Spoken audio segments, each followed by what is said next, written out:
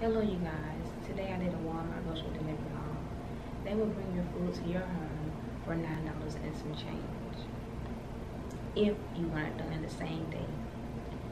Um, I had a coupon code for ten dollars, so that knocks some money off. Everything was a total of fifty dollars. So that was a plus for me. The only negative thing is they don't deliver until one o'clock. But Target, they deliver, they start delivering at nine but they're too expensive. But anyways, let's get into this video to see what all I got.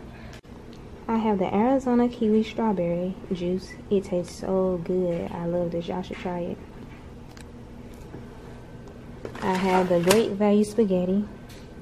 I usually don't buy Great Value products, but I was on a budget, so I got a lot of stuff that I didn't buy. I don't usually buy. Traditional pasta sauce. Parkay. I usually don't buy these either. Austin cheddar cheese and peanut butter crackers. I usually don't buy that either. Ground beef. I got two packs of those. Great value cheese.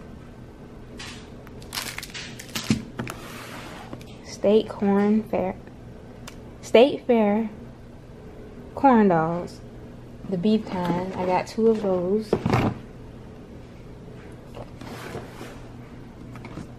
Vegetable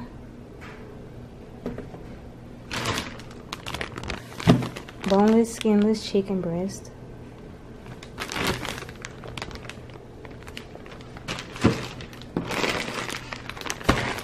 Tater tots.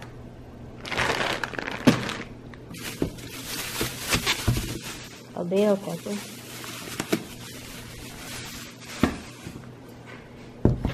Aunt Jemima buttermilk pancakes with a mix.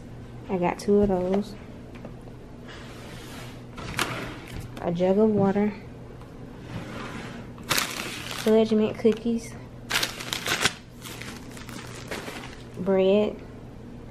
And pizza.